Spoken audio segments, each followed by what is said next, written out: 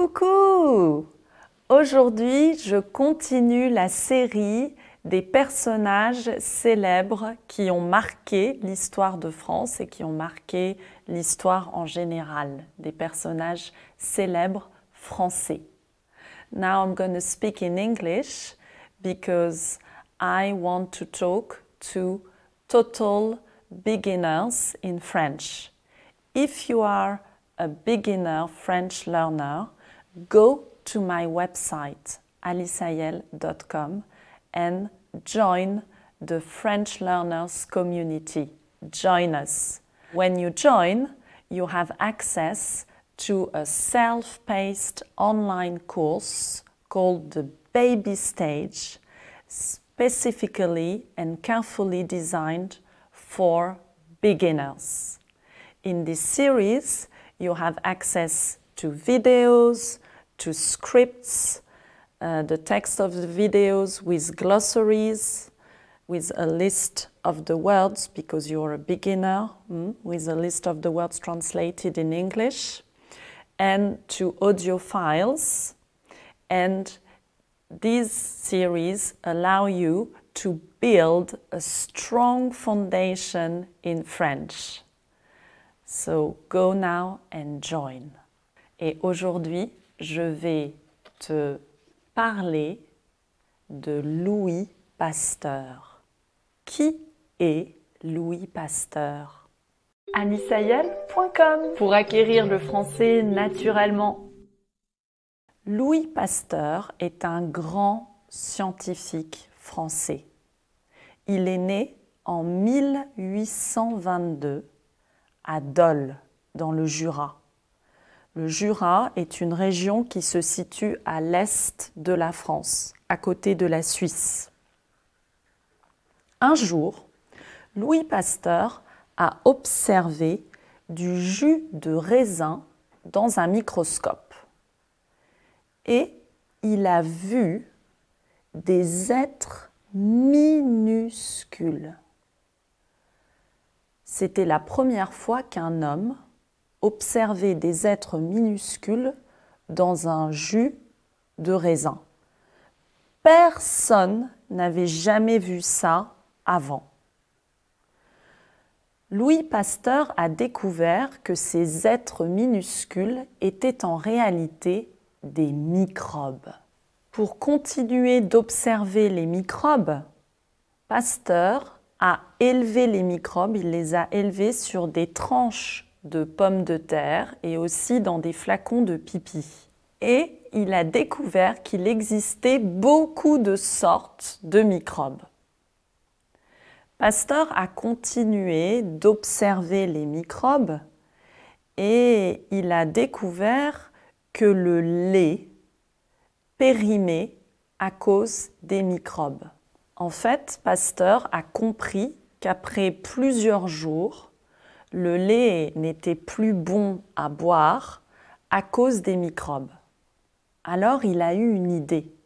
Il a décidé de chauffer le lait pour qu'il ne périme pas trop vite, pour qu'il se conserve plus longtemps.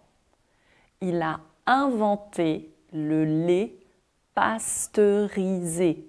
Dans pasteurisé, il y a le nom de pasteur. Et puis, plus tard, Pasteur a eu des problèmes avec d'autres scientifiques.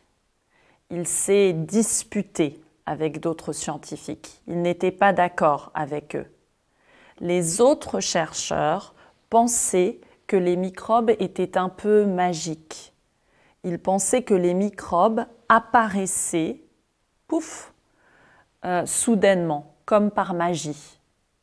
Mais le pasteur, lui, n'était pas d'accord. Il pensait différemment. Il ne pensait pas que les microbes apparaissait soudainement. Pour lui, c'était impossible. Il en était sûr, il en était certain.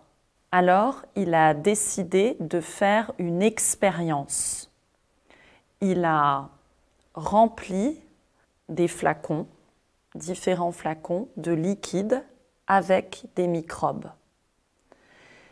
ces liquides étaient pleins de microbes. Il a fermé certains flacons et il a laissé ouverts d'autres flacons. Après plusieurs jours, il a observé que de nouveaux microbes apparaissaient dans les flacons ouverts, alors que dans les flacons fermés, il n'y avait pas de nouveaux microbes. Alors, il a compris que c'était l'air qui transportait les microbes et que les microbes se multipliaient dans les flacons ouverts où il y avait de l'air. Ensuite, Pasteur a étudié des poules, cote-cote, des poules malades. Et il a découvert que dans le sang de ces poules malades, dans, dans leur sang, il y avait des microbes.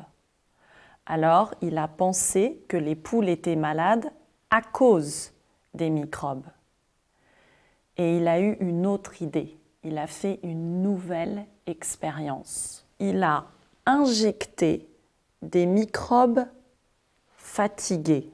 Pas des, bons microbes, des microbes en pleine forme. Non, il a injecté des microbes fatigués à une poule qui était en bonne santé.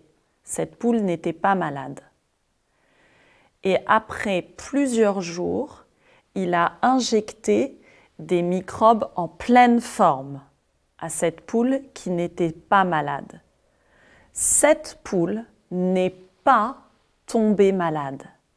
Elle était vaccinée. Pasteur a continué cette expérience, il a répété cette expérience sur d'autres animaux, pas seulement sur les poules. Il a répété cette expérience sur des vaches, sur des moutons et sur des chèvres. À chaque fois, ça fonctionnait. Les animaux vaccinés ne tombaient pas malades, ils n'étaient plus malades. Alors Pasteur est devenu célèbre. Mais un jour, un jeune garçon est venu le voir. Ce jeune garçon s'appelait Joseph et il avait été mordu par un chien. Le problème, c'est que le chien qui l'avait mordu avait la maladie de la rage. C'était très très grave. Joseph risquait d'attraper la rage et de mourir. Alors Pasteur a décidé de préparer une injection, un vaccin pour Joseph avec des microbes affaibli, fatigué de la rage. Un docteur a injecté ce vaccin à Joseph et Joseph a été sauvé. Pour la première fois, le vaccin fonctionnait, marchait sur un être humain, pas seulement sur des animaux. Louis Pasteur est mort en 1895 près de Paris. Et depuis son premier vaccin contre la rage, d'autres scientifiques ont inventé beaucoup d'autres vaccins. Et voilà. Alors j'espère que tu as aimé cette vidéo sur Louis Pasteur. Mets-le dans les commentaires. Abonne-toi à ma chaîne sur YouTube. Et bien sûr, va sur mon site alisaïel.com et deviens membre pour accéder à plus de ressources, des vidéos exclusives, des histoires à écouter et à lire en français compréhensible. À bientôt!